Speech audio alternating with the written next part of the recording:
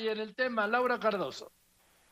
¿Qué tal, Joaquín? Inicia el nuevo ciclo escolar, aprende en casa y lo hace con quejas en redes sociales. La principal porque no lograron sintonizar los canales asignados para los diferentes grados, seguida por las fallas en la página oficial de la Secretaría de Educación Pública y también por los contenidos de cada una de las clases. Los padres de familia pidieron apoyo mediante la plataforma de Twitter para que se aclarara si había un repaso del ciclo anterior o ya había comenzado el nuevo porque se estaban repitiendo videos de Aprende en Casa 1. En otro tuit se pudo leer con la diferencia de horarios entre Sonora y la Ciudad de México y la falta de indicadores en pantalla del grado escolar al que corresponde la clase que se está transmitiendo en el canal de primaria Aprende en Casa 2 hace difícil saber si estamos viendo la clase y el grado correcto. Incluso Joaquín había quejas porque en la programación del regreso a clases estaba la conferencia mañanera del Palacio Nacional. Otros que plano pusieron los enlaces de Aprende en Casa en Internet no funcionan así.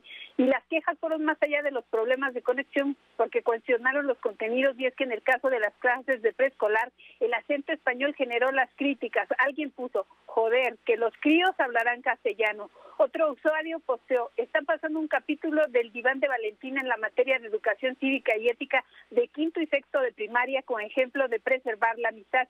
Y los calificativos eran, eh, esto es una simulación, esto es un caos. Otro comentario decía, espero que la programación cambie, no son clases, son videos repetidos, necesitamos educación de calidad. El reporte, Joaquín.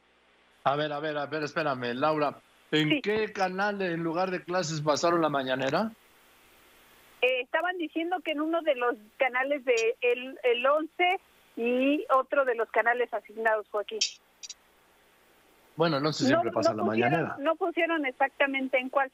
Eh, lo que pasa es que la gente se confundió. Estaba programado ahí, o sea, tú ves la programación, en, sobre todo en televisión por cable, hay una confusión ahí porque tú ves sexto grado, incluso le pasó a la UNAM, TV UNAM dice regreso eh, aprendiendo en casa 2 y TV UNAM aclaró que en la zona metropolitana, es decir, el, la Ciudad de México y el Valle de México, está transmitiendo su, su programación normal. Lo que pasa que ahí sí hubo un error en el caso de, de las programaciones, pero de televisión por cable.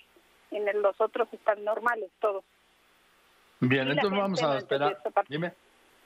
Sí, y te digo, y los los eh, los padres no entendieron esto porque andaban buscando en la programación tal como se lo marca la televisión.